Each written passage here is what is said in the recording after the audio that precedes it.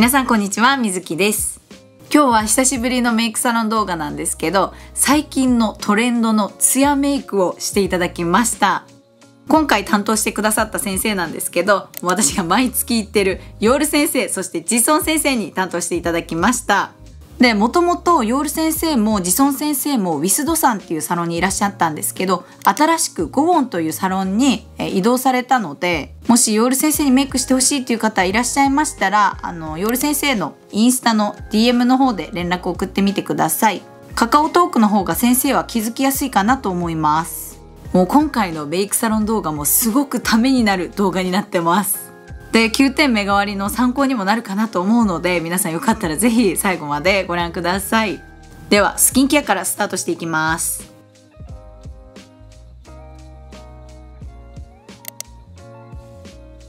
まず最初はこんな感じでトナーパッドで顔全体拭き取っていきます。トナーはここのメイクサロンで作ってるアイテムみたいで商品名がちょっとわからず載せれてないです。で、こんな感じで叩き込んで入れていきます。で、そしたら次は私も大好きなオングリディエンツのこちらのローションを使っていきます。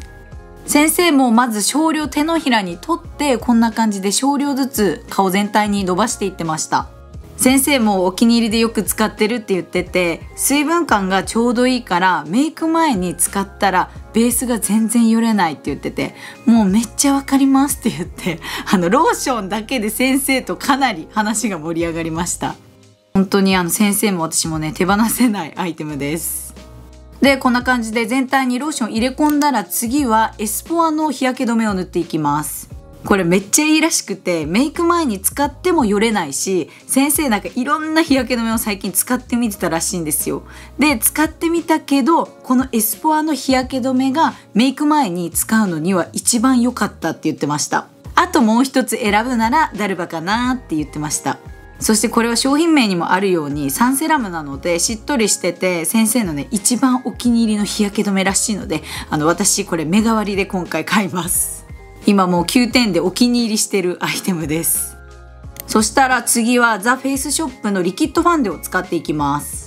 もともとこのザ・フェイスショップのリキッドファンデがすごい韓国では有名でめっちゃ人気だったらしいんですよ。でそのファンデが今回リニューアルされて新しく出たみたいです。先生もすごいお気に入りで実際に使ってるって言っててセミマットで夏にすごいぴったりで持続力がいいらしいです。先生が言ってたのがマットすぎたらちょっと重い。お肌が息できてない感じするしでも今からの季節グローすぎてもベタベタするじゃないですか。でもこれはその中間ですごい使いやすいって言ってました。で綺麗にカバーしてくれるのに薄付きで使い方も難しくないって言ってました。で実際にこれ私も使ってもらってあの鏡見た時にお肌綺麗すぎてびっくりしたんですね。で持続力も良かったのでこれも私目代わりで買います。で仕上がりはこんな感じでコンシーラー一切使ってないです。ファンデだけでもこれだけ綺麗にカバーしてくれます。で次はもう安定の私も大好きなルナのこちらのピンクのカラーのパウダーを使っていきます。ピンクカラーでふわっと綺麗に明るさ出してくれるのでこれ先生いつも使ってるパウダーです。でルナのパウダーは本当にどこのサロン行っても使われてる率が高いです。私もずっと愛用してるんですけど毛穴とかも綺麗にカバーしてくれるしいい感じに明るさも出してくれるのでこれからの季節にもすごいいいんじゃないかなと思います。そして今日は最近流行りのツヤチークメイクをしてもらうので全体にはパウダーはのせずに眉毛そしておでこ鼻鼻周り口周りだけのせていきます。あとヨール先生が言ってたのが夏は顔周りにもパウダーしっかりしてあげると汗かいても髪の毛がくっつかないのでおすすめって言ってました。で目元はメイクアップフォーエバーのパウダーで押さえます。そして今からウェイクメイクのパレットの3番を使っていきます。まずこんな感じでベースのカラーからのせていくんですけどこのウェイクメイクの3番もあのサロンで使われてる率がすごい高くてこれでメイクしてもらった時に可愛すぎて私速攻で買いました。先生もすごいお気に入りでよく使ってるって言っててもう底見えてました。先生はめっちゃコーラルって感じでもないしオレンジすぎないのですごいね使いやすいって言ってました。そしてベースの段階から横広くシャドウをのせていくのがポイントで下の部分にも全体的にシャドウをのせていきます。で次はヒロインメイクの涙袋ペンシル使っていくんですけどこれ日本語で調べても出てこなかったんですね。韓国のオンラインのオリーブヤングには売ってたんですけどなので日本で買えるかはちょっと謎です。ごめんなさい。で先生この涙袋ペンシルすごいお気に入りらしくて明るすぎないのでめっちゃ使いやすいって言ってました。で目を大きく見せるためにコンシーラーペンシルで涙袋を明るさ出す時もなるべく横長に目尻の方まで結構長めに描いていきます。そして逆のブラウンのペンシルで涙袋のラインもがっつり引いていきます。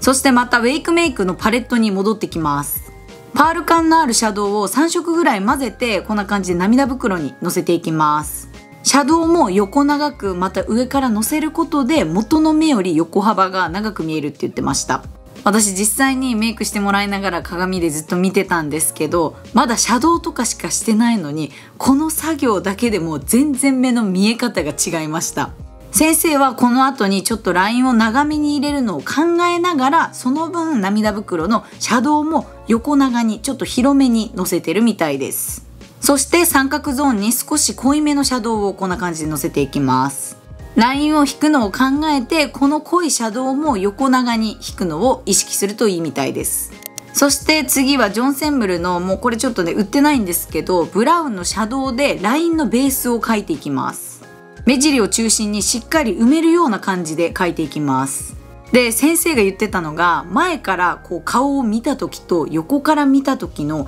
ラインの見え方って違うらしいんですね。なのでライン描く時はいろんな角度から見ながら描いてあげるといいよって言ってました。たまに前向いた状態でパーってライン描いてでも横からこうパッと見た時にラインがちょっとうねうねってなったりしてる時もあるからそれは気をつけた方がいいよって言ってました。それ言われた時に確かに私って横から見た時目のラインどうなってるんだろうって気になってちょっと意識するようになりました。で目頭にもしっかりとライン入れていきます。で次は MAC の部分ビューラーを使ってまつげしっかり上げていきます。その後は私も大好きなプロエイトチョンダムのリキッドアイライナーのブラウンを使って粘膜しっかり埋めていきます。プロエイトチョンダムの私はペンシルライナーの方を使ってるんですけど粘膜埋めてもよれない。にじまないのでほんとおすすめです。そして次はトニモリのジェルライナーのブラウンのカラーを使っていきます。上からこんな感じで重ねてライン引いていくんですけど目尻の方もしっかり埋めて長めに描いていきます。そしてまたウェイクメイクのパレットに戻ってきます。で二重の部分にこんな感じでポイントカラーをのせていきます。そしてつけまつげはアイミーの33番を使っていきます。このつけまつげもめっちゃ綺麗でした。見てたら9点のピカソの公式で売ってそうだったのでこれも目代わりで買おうかなと思ってます。で一人で家でつけまつげつける時は自分の目の角度に合わせてつけるのがポイントで一束よりは二束になってる方がつけやすいからおすすめだよって先生おっしゃってました。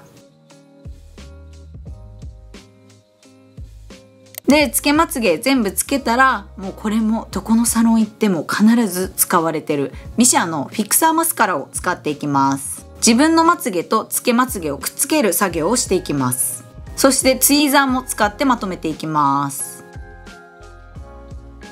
そしてまたウェイクメイクのパレットに戻ってきて目の下にベージュと濃いブラウンのカラーを混ぜて全体的にラインを引いていきます。少し影を入れるような感じで目頭から目尻までラインを引いていきます。で細いブラシを使って目尻は結構しっかりめに影を先生入れてました。そしてミシャのフィクサーマスカラに戻ってきて下まつげもしっかりとベース塗っていきます。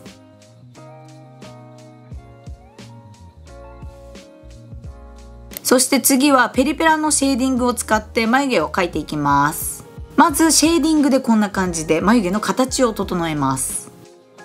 そして上からシュウウエムラの眉かきを使って重ねてこんな感じで描いていきます。そして次はペリペラのシェーディングを使ってノーズシャドウ入れていきます。結構全体的にしっかりめにこんな感じで影は入れていきます。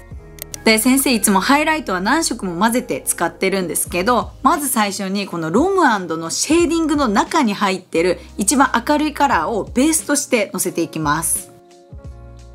そして上からローラ・メルシエのハイライトをのせて自然にツヤ感を出してあげます。そして最後はディオールのハイライトを使って明るさを出したいところにポイントでのせていきます。そしてロムのシェーディングを使って顔周りしっかりと影入れていきます。このロムのシェーディングめっちゃいいって先生言っててこのロムのシェーディングも私メガ割で買います。そしてこのロムのシェーディングのパレットで眉毛描いてもすごい綺麗だよって言ってました。なのでシェーディングとしても使えて眉描きとしても使えてハイライトも入ってるってすごいいいですよねそしてさっき塗ったミシャのフィクサーマスカラが乾いたぐらいのタイミングで上からエチュードの、えブラックのマスカラを塗っていきますそしたら次はリップペンシル使っていくんですけど、リップペンシルはハートパーセントの1号のピーチベージュのカラーを先生使ってました。こんな感じで唇の形をきれいに整えて、次はアピューのチークで周りをぼかしていきます。ぼかすことで自然に柔らかく見せれるって言ってました。でここから激カワツヤリップが登場するんですけど 3CE のユースっていうカラーを使ってこんな感じで全体にのせていきますもうねツヤが綺麗すぎて先生は仕事以外でもプライベートでもこのリップ使ってるみたいです塗ってもらった時に本当に綺麗すぎてこれも買います。そして最後にこんな感じで 3C のあのツヤリップを頬に戻せていきます。こんな感じでパフでのせるともうツヤツヤして超綺麗でした。で最後に手で整えたら完成です。